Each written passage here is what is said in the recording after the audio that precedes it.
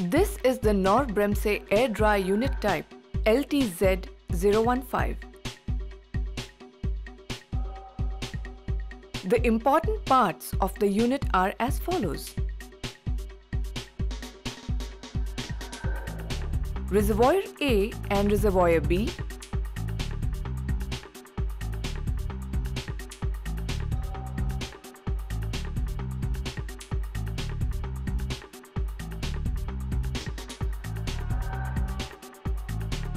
desiccant,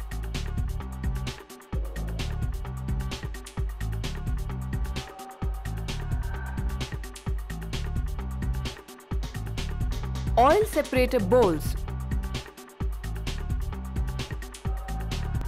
with Raschig rings.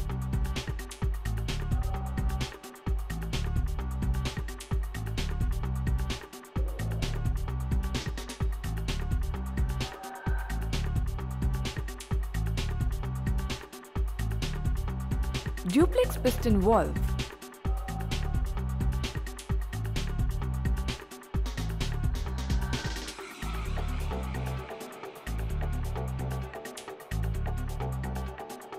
Valve magnet.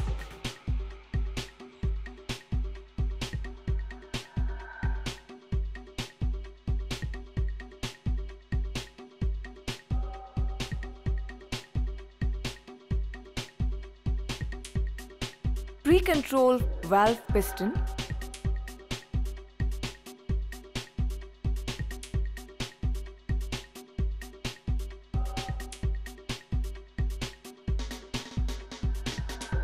Check valve.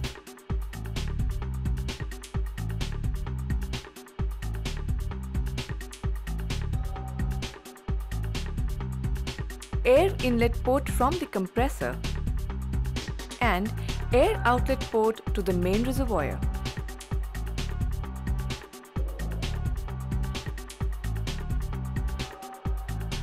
Let us now explain the working of the unit. The air dry unit has two operating cycles, cycle 1 and cycle 2. Cycle 1 lasts for 2 minutes. Cycle 2 also lasts for 2 minutes.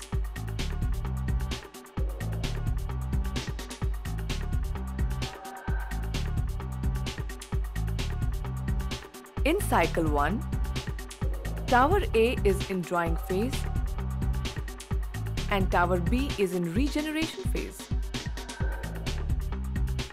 And in cycle 2,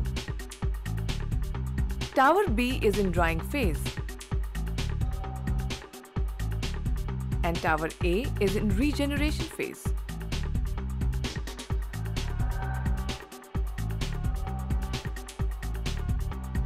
As the compressor is switched on, the valve magnet is energized by the electric input signal coming from the cycle timer.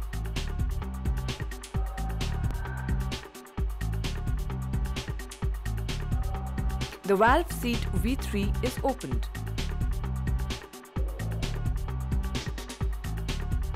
Through the inlet port P1, the cooled and the pre-drained air from the compressor flows and opening the valve seat flows to the tower A. Before the air enters the desiccant in tower A, it is first carried through the Raschig ring fillings in the oil separator of tower A. Here, the air swirls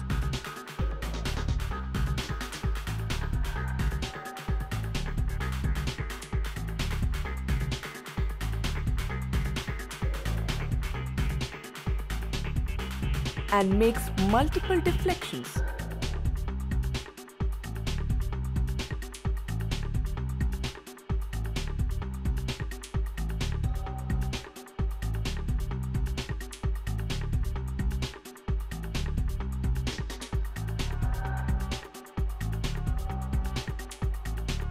As a result, minute particles of oil and water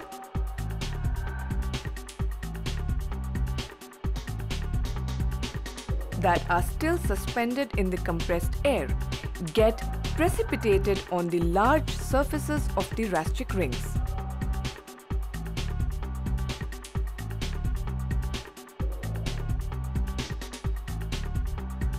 These particles of oil and water then gather to form larger drops which fall into the collecting chamber.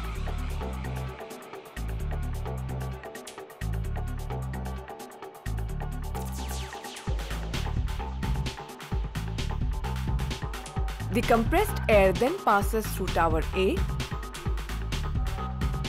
from bottom to top. As the compressed air passes through the desiccant in tower A, it gives off so much of its moisture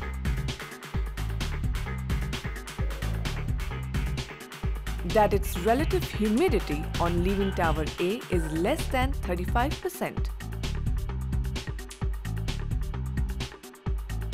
Some of this dried air then branches off through the regeneration choke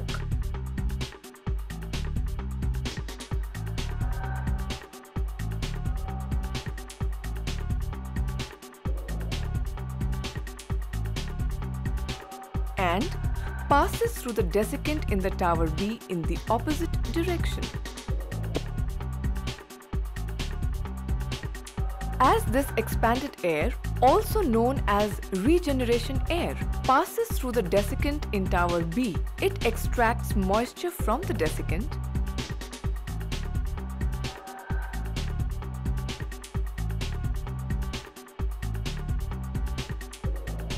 and passes via the open valve seat V8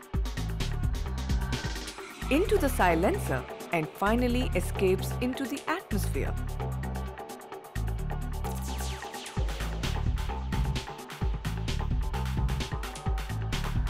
Then, the compressed air branched off from the air pipe to the air outlet port P2 flows through the open valve seats V2 and V3 to the duplex piston valve.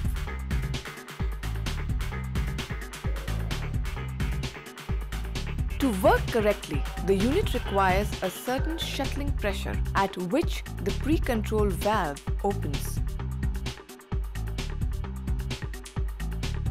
And the piston valve can shuttle. The bypass valve ensures that this pressure builds up quickly in the system.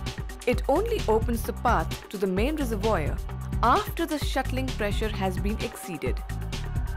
This function prevents the desiccant in the tower B from being oversaturated during prolonged filling processes. Subsequently, the air is now redirected back down through the central tube, going through the check valve, then the bypass valve, and finally the air exits through the outlet port P2.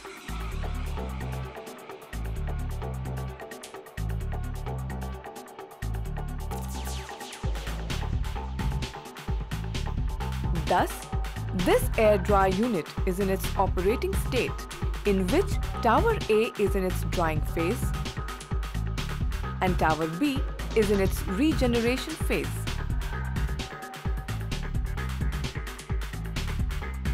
In cycle 2, the air stream is dried in tower B, that is, tower B is in drying phase and the desiccant is regenerated in tower A, that is, tower A is in regeneration phase. After 2 minutes, the desiccant of tower B reaches its saturation limit and the unit switches over by the electronic cycle timer. This means that the valve magnet is de-energized. Then the valve seat is closed and the valve seat V4 opens. The control line to the duplex piston valve is vented.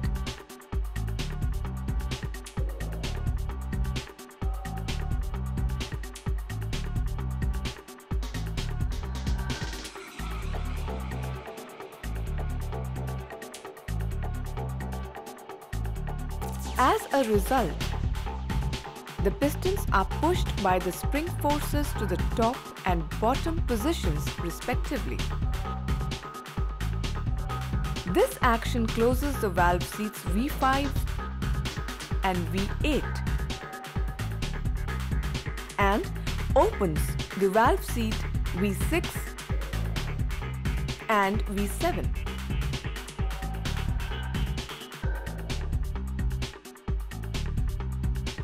The air flows from P1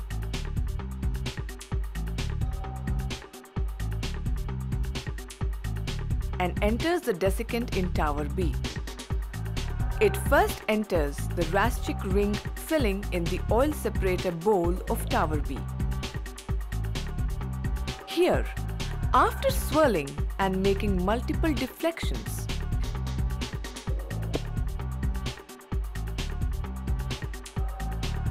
the compressed air passes through the tower B from bottom to top. As this compressed air passes through the desiccant, it gives off so much of its moisture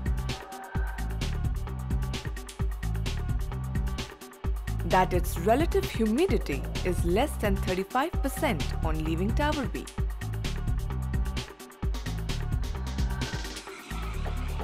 As this compressed air now comes down from the central tube of tower B,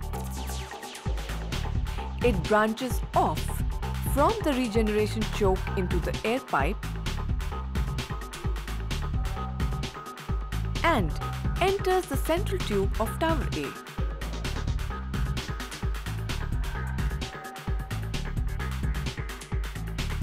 As this air, also known as the regeneration air, passes through the desiccant in tower A, it extracts moisture from the desiccant and expands.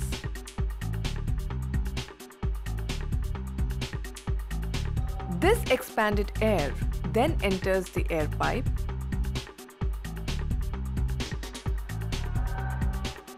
Passes through the open valve seat V6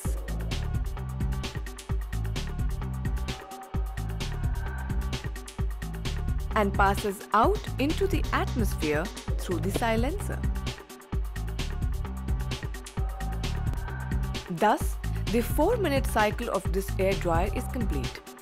The air dry unit will continue to work like this as long as the compressor is on.